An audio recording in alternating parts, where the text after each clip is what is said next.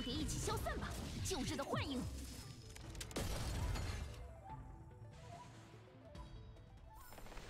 有目标，镰刀才够快。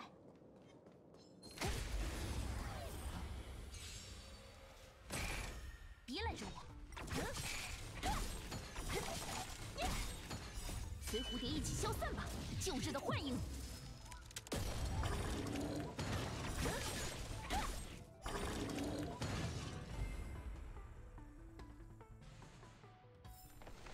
目标，镰刀才够快。没白跑。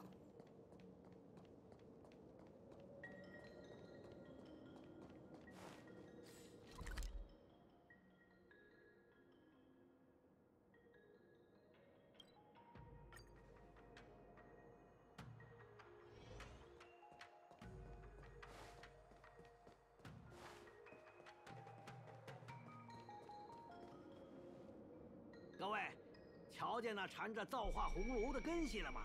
它们都枯萎了。这下好极了，没什么能够阻挡各位了。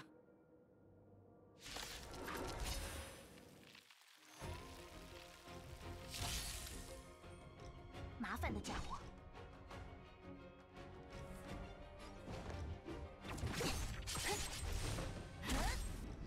客人们，岂有不招待的道理？朱邪回避，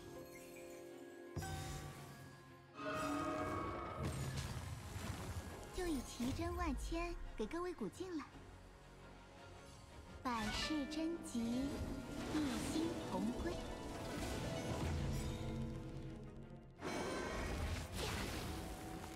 你会为此付出代价。时不再至，请助我一臂之力。我们早已踏入风暴，为了守护和捍卫，击溃他们，这就让你解脱。随蝴蝶一起消散吧，旧世的幻影。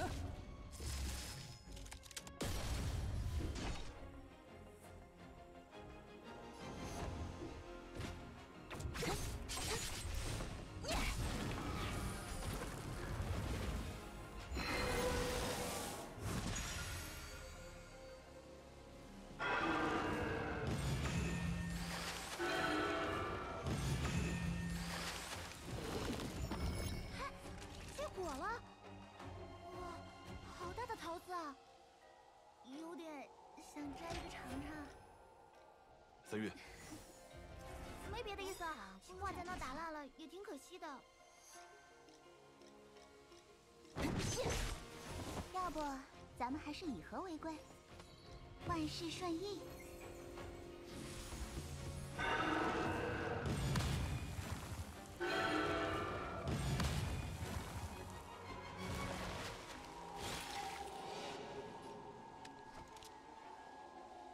区区恶徒，别来惹我！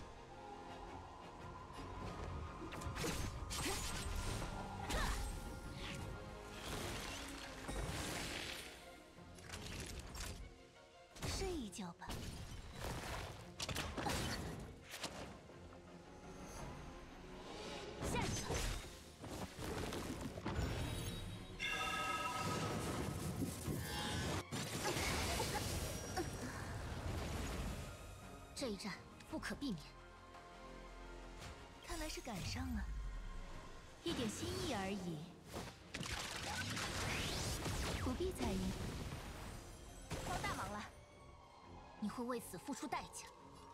时不再至，请助我一臂之力。纠缠不清，随蝴蝶一起消散吧，旧世的幻影。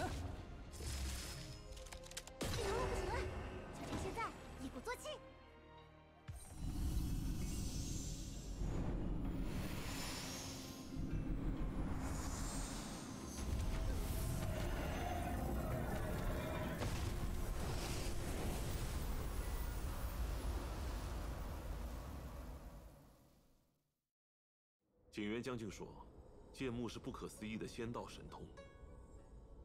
那头鹿看似与寻常生命无异，但即便受了致命伤，也能瞬间愈合。我算是明白仙州人为何要追随寻猎，铲除丰饶了。不死不灭的造物，一旦放任它开枝散叶，会让整个世界的生态系统彻底崩溃。怪不得仙州人随星舰流浪宇宙，从不在某个星球定居。杨先生很有见地，可惜八千年前，身为求药使的先人们不能洞见这背后的隐忧啊。也许他们中有人想到了，拒绝了寿温霍祖的馈赠。然而，作为一整个文明，真的能抗拒长生不死的诱惑吗？真是讽刺！哎呀，智者埋泉下，愚者长不灭呀！仙舟悔愧于曾受丰饶蛊惑，才最终决定踏上寻猎征途。也许这一切还有挽回的余地。多谢各位的援手，我知道你们接下来要去丹顶司，那里与剑木毗邻。瞧眼前这番景象，那里一定更为凶险。去吧，各位，一路小心。老夫在此祝你们顺利。